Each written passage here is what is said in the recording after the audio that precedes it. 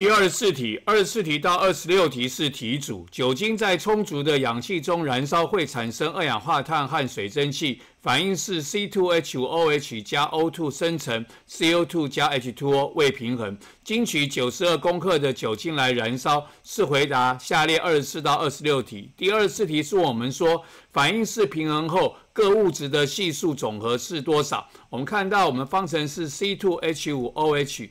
加上 O2 会产生呢 CO2 加上 H2O。老师在教化学方程式的平衡的时候说，我们从最复杂的分子开始，把它设作一或二，我们就把这个最复杂的酒精设作一，然后从两边各只出现一次的开始平衡。我们这边碳出现一次，这里碳也出现一次，所以说碳平衡好。这里有两个碳，所以这里要写二。这里写二之后，本来是要平衡氧，不过氧呢左边出现过两次，右边也出现过两次，所以我们暂时不要动。我们看到另外一个氢。